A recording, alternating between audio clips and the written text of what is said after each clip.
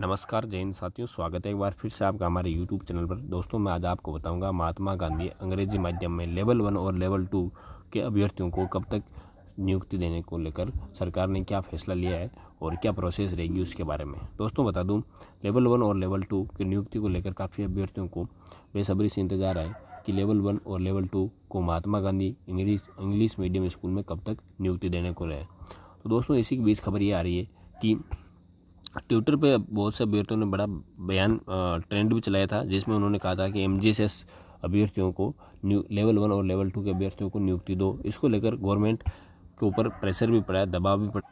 और आप स्क्रीन पर भी देख सकते हो कि एक अभ्यर्थी ने ट्वीट करके जानकारी दी है। उसमें उन्होंने लिखा है कि राज्य सरकार से निवेदन है कि M G G S third grade अध्यापकों की प्रतिनियुक्ति कर अपने पाँच साल के अत्याचार से निजात दे।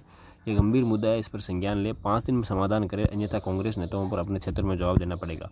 तो दोस्तों, ऐसे ही बहुत से ट्वीट आए हैं जिन पर, जिनको लेकर गवर्नमेंट पर दबाव पड़ा था और अब अभ्यर्थियों को अभ्यर्थियों को बहुत बड़ी खुशखबरी मिलने वाली है क्योंकि M G S S third grade अध्यापकों को लेवल वन और लेवल टू के अभ्यर्थियों को जल्दी नियुक्ति देने को लेकर तैयार है। दोस्तों, नियुक्ति जो गवर्नमेंट देगी, वो एक्सपेक्टेड नियुक्ति देने की जो डेट है, वो अक्टूबर के फ़र्स्ट वीक में लास्ट तक दे देगी। यस आपको शुरू के सेकेंड वीक में दे देगी। दोस्तों, ये जो टेंटेटिव डेट है, इसमें आपको अभ्यर्थी को M G S S third grade की नियुक्ति मिल जाएगी और एम जी एस एस से रिलेटेड आपको अपडेट, लेटेस्ट अपडेट चाहिए तो आप हमारे YouTube channel R N C education academy को सब्सक्राइब कर सकते हो और बेल आइकन पर क्लिक करना ना भूलें। Thank you very much